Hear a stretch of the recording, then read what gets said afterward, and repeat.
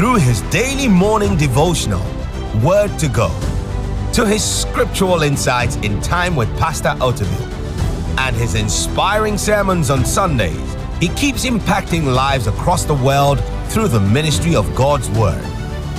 Get ready to be inspired, to be liberated, and to be equipped for the days, the months, and the years ahead. Bringing us God's Word. Ladies and gentlemen, let's rise to our feet and give glory to the Lord as we welcome the founder and general overseer of the International Central Gospel Church, Pastor Mensa Otabil.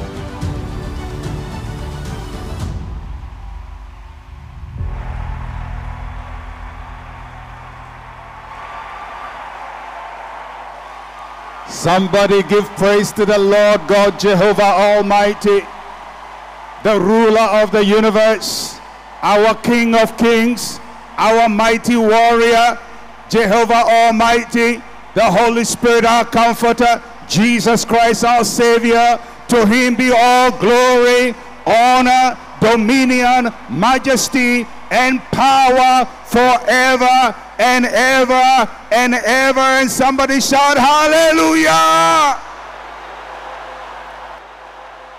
I have titled my message tonight, Just in Time. Somebody say, Just in Time. Many times in the Bible, we see that God operates a just in time delivery system. He gives us what we need when we need it, not before we need it. There was no need for a ram when Abraham was going to sacrifice Isaac. There was no need for a ram ahead of time. But just in time, when Abraham was about to sacrifice Isaac, the ram showed up. Many times when we trust God and pray and believe God, we want to see the miracle ahead of time, but God brings the miracle just in time.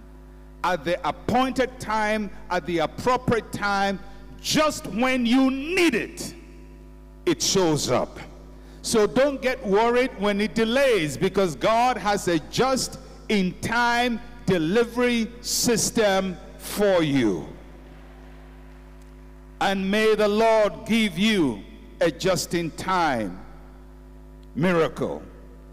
When God gives us a just in time miracle, it, it appears as a sudden work, as if it just happens suddenly. When you think it's too late, he shows up. When all the doors have been shut, he opens them. And may the Lord give you such a visitation. So I'm going to start reading from Joshua chapter 10, and I'll read, I will focus today on verses 5 to 9. But I'll give you a background to the story before I read it. Joshua has taken over the leadership of Israel from Moses. Joshua was a military man, an army man, an army general, a warrior. And his task was to ensure that the children of Israel got to the promised land and each of the tribes got the land that has been promised them. So when he got to the promised land, he started occupying the land so that the promise of God will become a reality. The first battle he fought was the famous one we are all familiar with. That was the Battle of Jericho. And then after that, he went to fight the second battle, the battle with Ai. And they disobeyed God, so they lost that battle and then they fought a third battle with the same city of Ai and won it. So we can say that at this time they have fought two major cities but three battles. Now, when the people in the surrounding area saw what was happening, in the first place, the Jordan had opened, they had come through, Jericho is falling, Ai is falling. They just decided, let's go make peace with these people. So, one of the tribes in the area, or one of the cities in the area called Gibeon, decided that they would go to Israel to make peace. They went to Israel and made peace. They told a lie that they were traveling from afar. As a matter of fact, they were traveling from very close. But they said they traveled from afar. And Joshua said, Okay, we will not conquer you because you come in peace. Later, they realized that the people had lied. When the other kings in the area heard that Gibeon had gone to make peace with Israel, they decided to go and fight Gibeon, wage war against Gibeon. And the Gibeonites, who now have a peace treaty with Israel, went to Joshua and said, By the way, after we signed the peace agreement with you, five kings have come against us and they want to fight us because we signed peace with you. And Joshua decided to side with the Gibeonites and fight this battle. I'm giving you all of this background because it is key to the message I'm going to preach. So, with this background in mind, we read from verse 5 to verse number 9 of Joshua chapter 10. And it reads Therefore, the five kings of the Amorites, the king of Jerusalem, at this time, Jerusalem was not the capital of Israel, the king of Jerusalem, the king of Hebron, the king of Jarmuth, the king of Lachish, and the king of Eglon gathered together and went up, and all their armies and camped before Gibeon and made war against it. And the men of Gibeon went to Joshua at the camp of Gilgal, saying, Do not forsake your servants. Come to us quickly, save us and help us, for all the kings of the Amorites who dwell in the mountains have gathered together against us. So Joshua ascended from Gilgal, he and all the people of war with him, and all the mighty men of valor. And the Lord said to Joshua, Do not fear them for I have delivered them into your hand.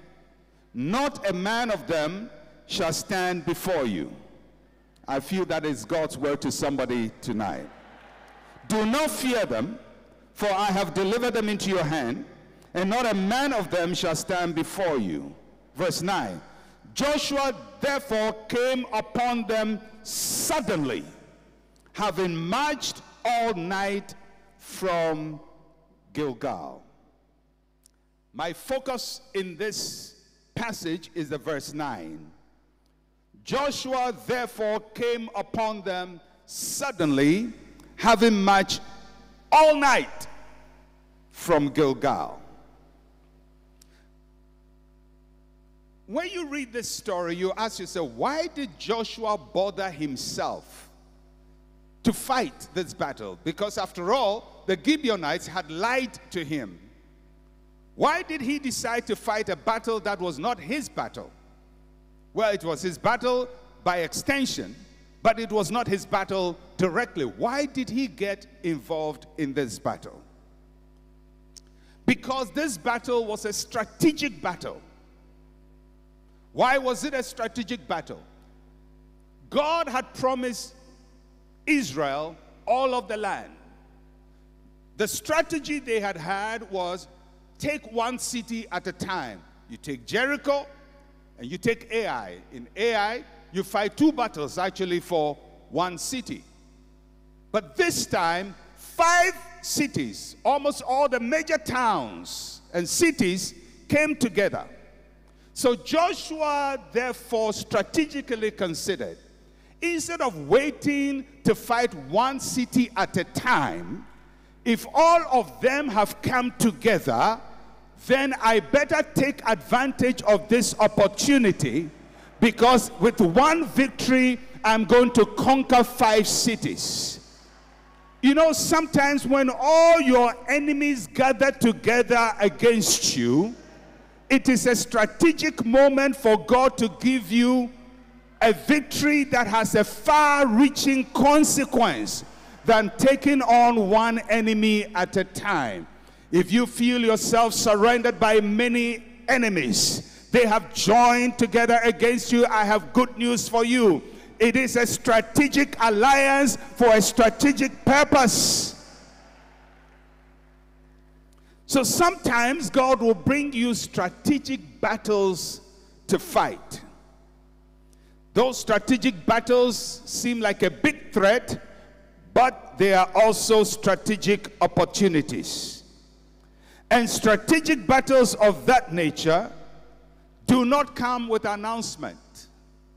It just piles up against you. One pops from here, the other pops from there, the other pops from there, and all of a sudden you are surrounded. Yes, it looks like a threat, but if you see it like Joshua, it is God's opportunity.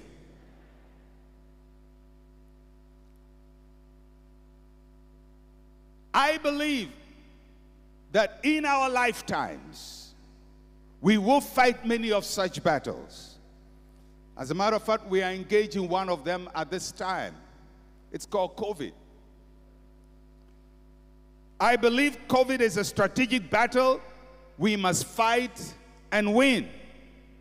It's not just the health battle, that's the easiest one, but the total disruption that COVID has brought to the entire world. Reduce everybody to the same level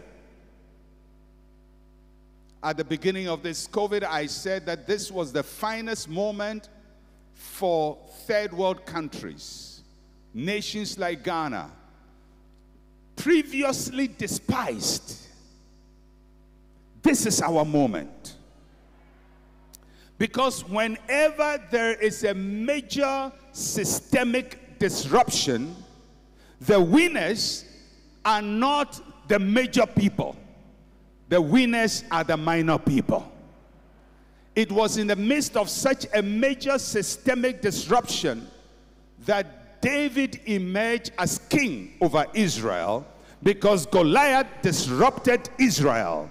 It disrupted King Saul, it disrupted the military system. No general could fight until one shepherd boy emerged and took down this giant and saw his promotion.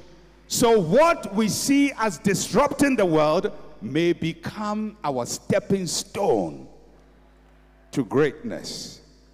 I was very excited when, at the beginning of COVID, we were all very excited about getting inside, doing things by ourselves, producing our own mass, producing our own raw material. And then, after some time, we said, let's go back and import. Let's go back and import. Let's go back and import. We are just about missing a strategic opportunity. If outsiders seize the moment, they will emerge the winners. So here is Joshua in the battle, defending the Gibeonites who had lied to him. But he has a sense of, sense of honor to fight for them, not because of the Gibeonites, but because he can see the finger of God in this battle. So when he heard about it, he decided to go into this battle. But he did the most unlikely, probably unrealistic thing. Because if you are one army, Israel, and you have five armies against you, you want to face the five armies in your strongest form, refreshed, energized, not tired, not weak, not hungry. But Joshua started from Gilgal. And the passage says he marched all night. How do you march all night? to go and fight an enemy who has been sleeping all night. Because if he's been sleeping all night, he'll be stronger than you, he'll be better rested, he'll be better focused. Your army will get to the battlefield tired. But that's what Joshua did. All throughout the night, they were marching. They were marching. They were marching. The troops were tired, but they were marching. No sleep, no food, no rest. Marching. The enemy was sleeping. They were marching throughout the night, throughout the night, throughout the night. The night in the Bible represents many things. It represents uncertainty. It represents weeping, pain. It represents isolation. So Joshua and the army are marching throughout the night. They can't even tell whether they are making progress or not. They can't see anything to tell them you are moving forward. All they're doing is keep marching and marching and marching and marching. They have no food to eat, but they are marching. They have no encouragement, but they are marching. They are isolated, but they are marching. And they are marching through the night when others are resting. They are working in the night. They are marching in the night. Others are enjoying, but they are marching in the night. Some of you feel that way in your life because you feel that your life is a long march in the night. You've been marching for us for the last 40 days. We've been marching in the night, praying and fasting and praying and fasting and praying and fasting and praying and fasting. And then somewhere along the line, your body is tired. You feel like breaking your fast. You feel like going to eat something. You feel like catching up and building your energy. But you keep praying and fasting, and people are eating and eating, and you are praying and fasting and marching. For some of you, you feel your whole life you've been marching and never arriving. You've been working so hard, but never reaping the fruit of your labor. You've struggled so hard to make it, but you never make it. You've prayed year after year after year after year after year. Keep marching in the night, in the dark. Nobody sees you, nobody praises you, nobody encourages you. Don't stop marching. Don't stop praying. Don't stop trusting God because just in time, suddenly, there will be a shift. So the Bible says that as Joshua was marching throughout the night with his army, a tired army, suddenly they were upon their enemies and I suppose that the enemies were still asleep. They came upon them suddenly. Somebody say suddenly. The Hebrew word is pitom, suddenly. It means something that happens very quickly. In fact, in the Bible, that Hebrew word is used in various parts. In Psalm 64, verse 6 and 7, it says, the psalmist is talking about his enemies, and it says they devise iniquities. And whilst they devise iniquities, they say, We have perfected a shrewd scheme. Both the inward thought and the heart of men are deep, but God shall shoot at them with an arrow. Suddenly they shall be wounded. In Isaiah 48, verse 3, it says, I have declared the former things from the beginning they went forth from my mouth, and I shall cause them to hear it. Suddenly I did them, and they came to pass.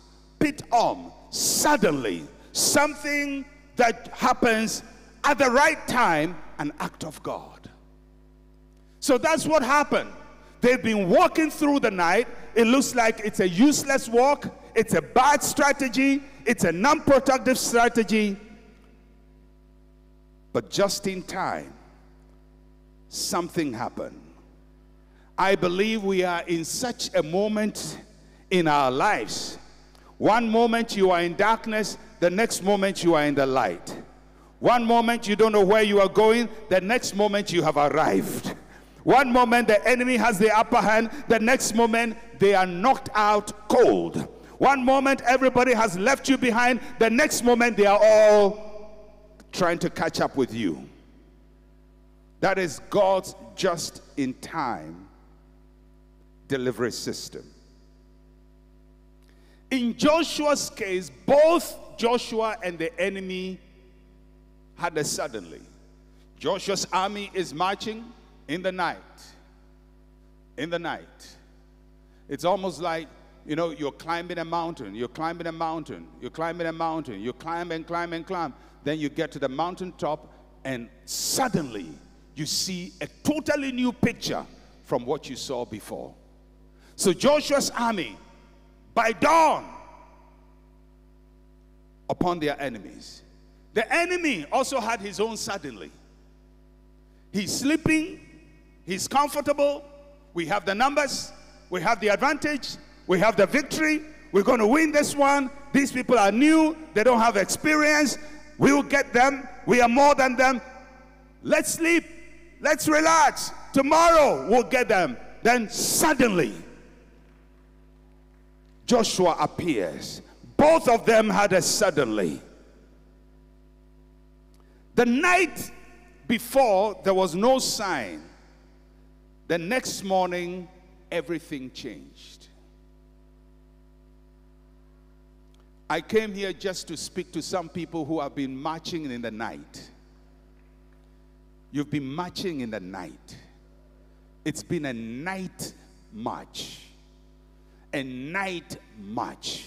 For some of you, there's one prayer topic. You've been praying your intestines out, your heart out, your liver out, your lungs out, your throat out. You are pulling your hair, and it seems as if nothing changes. But suddenly, there will be a visitation. What if God had given Hannah a child when she prayed for a child the first time, we would never have heard of her and we would never have heard about the child.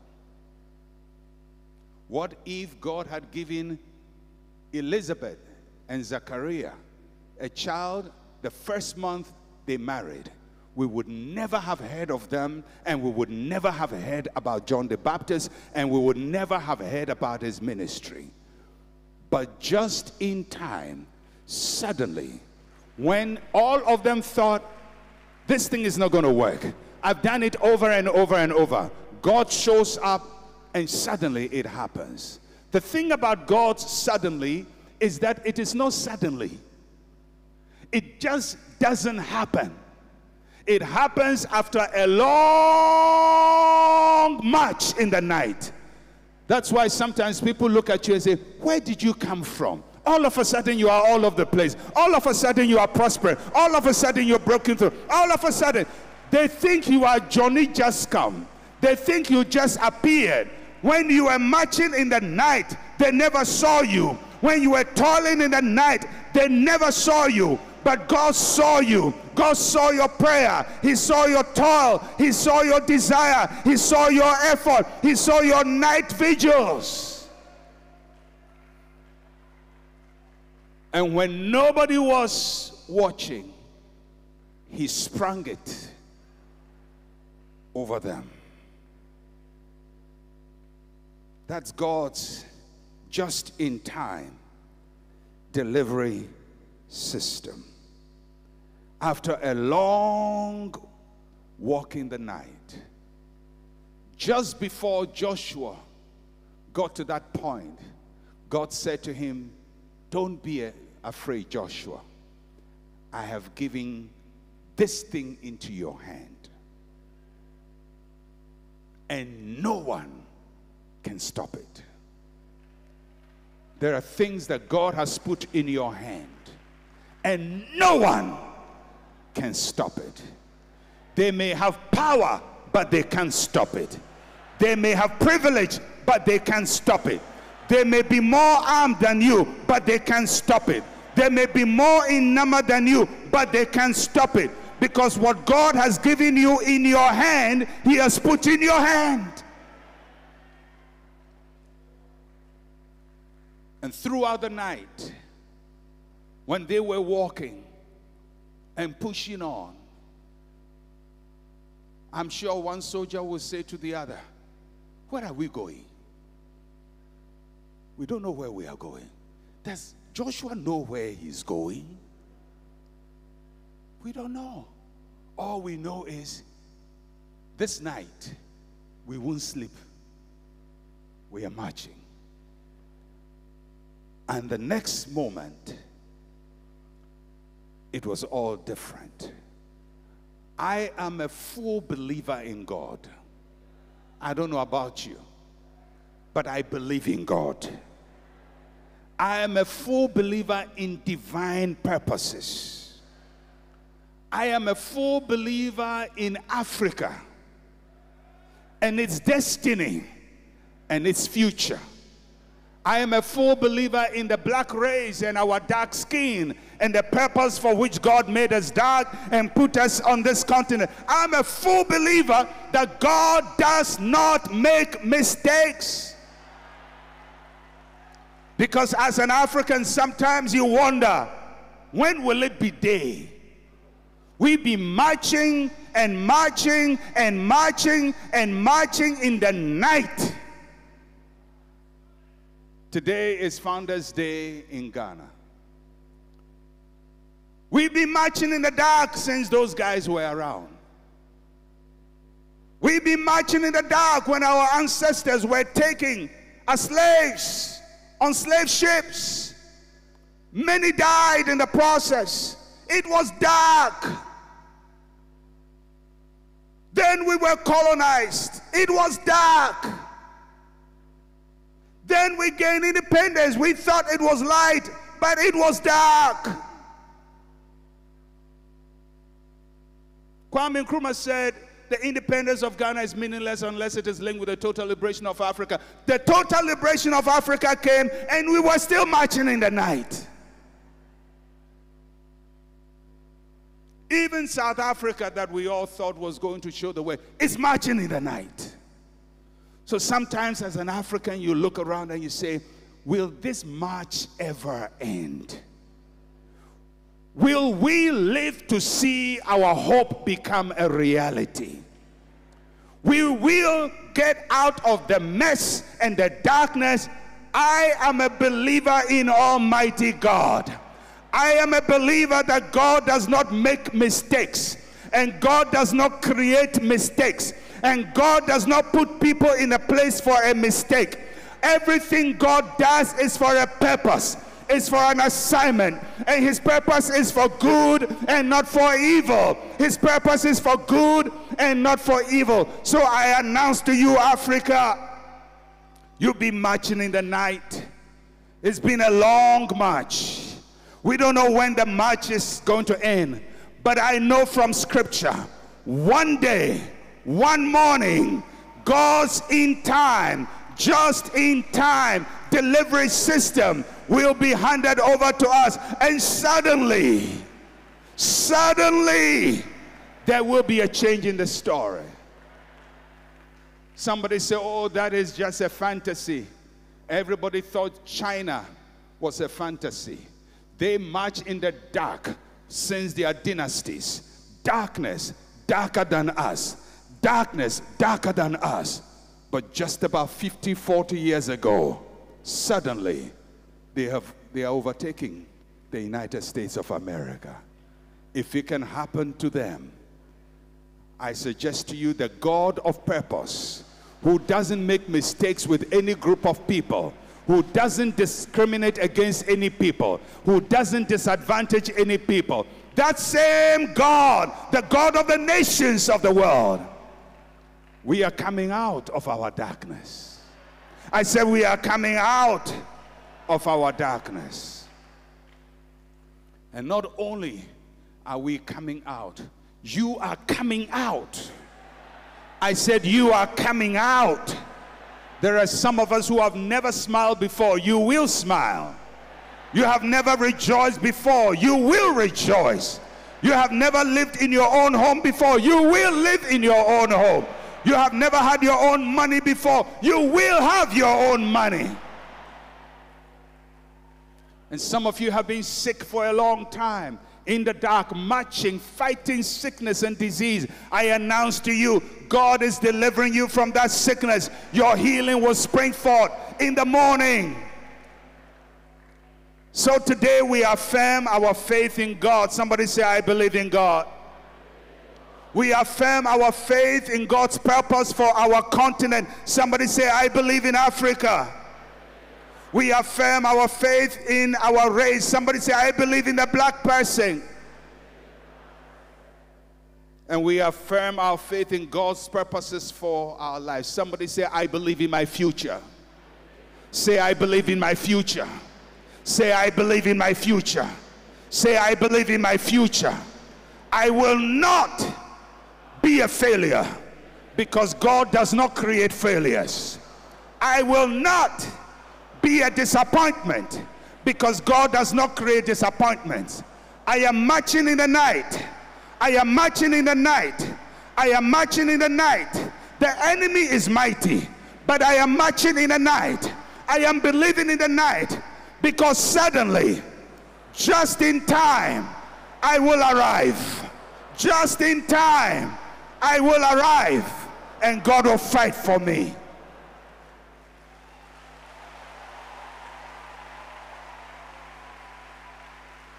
Tonight, on this first night of greater works, God wants to tell you your march in the night is taking you somewhere.